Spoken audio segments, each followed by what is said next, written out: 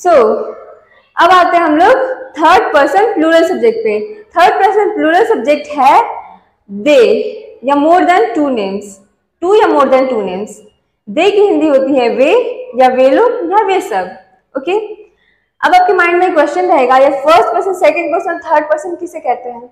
सो so, जो बोलने वाला होता है जो स्पीकर होता है वो होता है हमारा फ़र्स्ट पर्सन जैसे कि अभी मैं यहाँ पे बोल रही हूँ तो मैं हो जाऊँगी फ़र्स्ट पर्सन जो सुनने वाला होता है जो लिसनर होता है वो होता है हमारा सेकेंड पर्सन जैसे कि आप मुझे अभी सुन रहे हैं तो आप क्या हो जाएँगे? सेकेंड पर्सन और जिस चीज़ के बारे में बात की जाती है वो हो जाता है हमारा थर्ड पर्सन ओके सो आपके इतने कॉन्सेप्ट क्लियर हो गए राइट चलते हैं हम लोग प्रैक्टिस पे.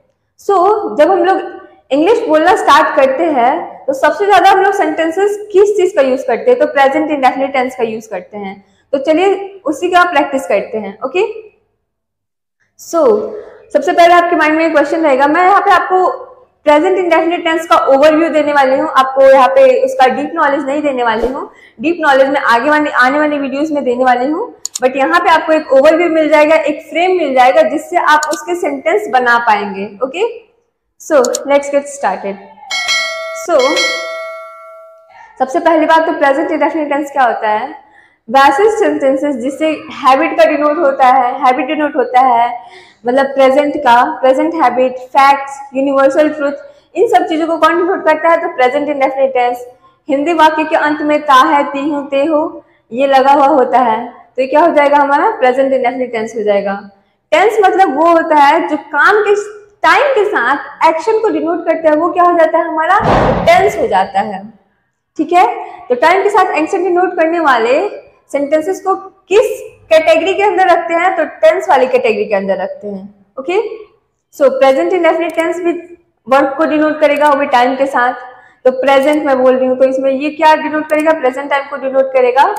और इसके अंत में ता है ती ही ते हो ये लगा हुआ रहेगा। सो so, आते हैं इसके स्ट्रक्चर पे। सबसे पहले बात मैं आपको एक फैक्ट बता देना चाहती हूँ कि वर्ब जो होता है, वो जन्म से ही प्लूरल होता है। इसमें हम लोग एस या ईएस लगा के इसको सिंगुलर बनाते हैं। ओके और जो हमारा नाउन होता है, वो जन्म से ही सिंगुलर होता है। इसमें एस या ईएस लगा के इसका प्लूरल बनाते हैं। फॉर एग्ज़ाम्पल अगर मैं वर्ब का एग्ज़ाम्पल दू प्ले प्ले जो हमारा वर्ब है, ये वीवन है। और ये क्या है? हमारा प्लूरल है। इसमें मगर अगर इसमें अगर मैं एस जोड़ दू प्लेस बना दू तो क्या बन जाएगा? सिंगुलर बन जाएगा। और ये सिंगुलर सब्जेक्ट के साथ यूज़ होने लगेगा।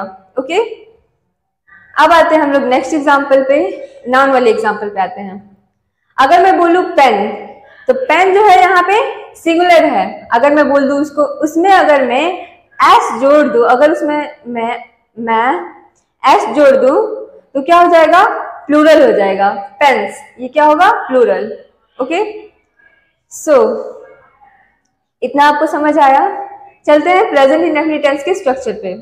प्रेजेंट इंडेफिनिट टेंस का स्ट्रक्चर होता है subject plus V one V five plus object okay इसका नेगेटिव स्ट्रक्चर होता है subject plus do does plus not plus V one plus object सबसे पहली बात मैं एक और बात आपको बताना चाहती हूँ कि सेंटेंस में जो फ़र्स्ट वर्ब होता है, वो टेंस के अकॉर्डिंग होता है।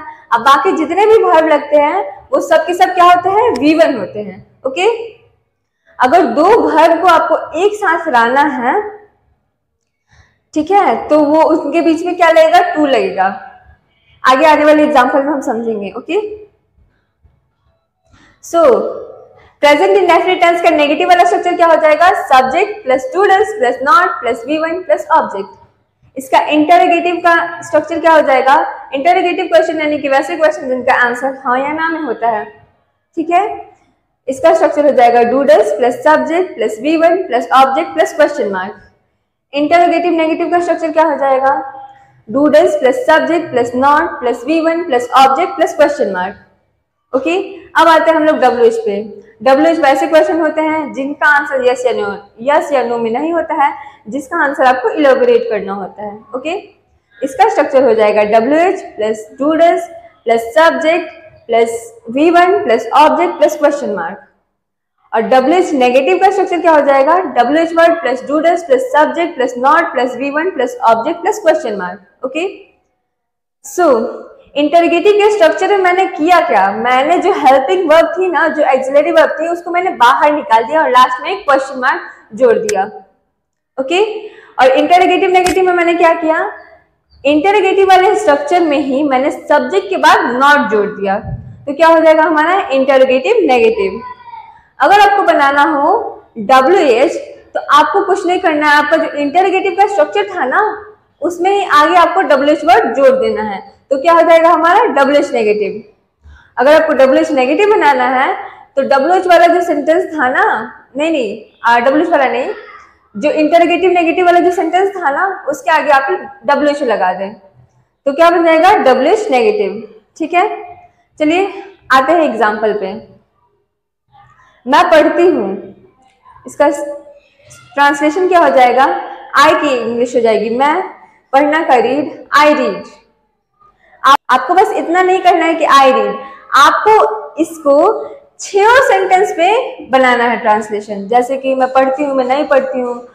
क्या मैं पढ़ती हूँ क्या मैं नहीं पढ़ती हूँ मैं क्यों पढ़ती हूँ मैं क्यों नहीं पढ़ती हूँ. इस छो सेंटेंस का आपको ट्रांसलेशन बनाना है. जैसे कि I read I do not read do I read do not I read why do I read why don't I read